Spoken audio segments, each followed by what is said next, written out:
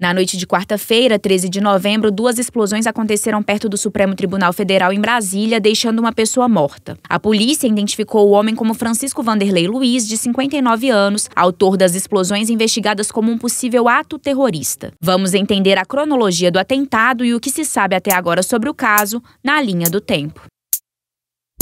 No dia do ataque, às 8h15 da manhã, Francisco entrou no anexo 4 da Câmara dos Deputados, onde estão a maioria dos gabinetes. Ele foi até o guichê de identificação e passou pelo raio-x para acessar o anexo. Segundo a assessoria de imprensa da Câmara, ele foi ao banheiro e deixou o local. Por volta das sete e meia da noite, o carro de Francisco, que estava estacionado perto da Câmara com fogos de artifício e tijolos no porta-malas, explodiu. Cerca de 20 segundos depois da explosão do carro, uma nova explosão aconteceu em frente ao STF. Francisco arremessou um explosivo em direção à Estátua Justiça e depois lançou mais dois na direção do prédio. Em seguida, ele deitou no chão, acionou outro explosivo, colocou atrás da cabeça e esperou a explosão. Na madrugada do dia seguinte, autoridades desativaram explosivos na casa alugada pelo autor em maio de 2023 em Ceilândia, Distrito Federal, semelhantes aos usados em frente ao STF. Por volta de 9 horas da manhã, o corpo dele foi retirado do local do atentado. Ele usava um paletó verde estampado com naipes de baralho. No mesmo dia, polícia fez uma varredura na Praça dos Três Poderes e encontrou um trailer com mais artefatos. Mais tarde, a ex-mulher de Francisco revelou que ele queria matar o ministro Alexandre de Moraes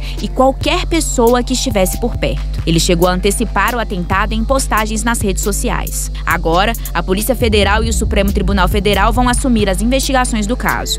O ministro Alexandre de Moraes será o relator do inquérito na corte. Mais detalhes sobre esse caso você acompanha aqui no canal Tempo. Se inscreva e ative as notificações para ficar por dentro de tudo o que acontece no Brasil e no mundo.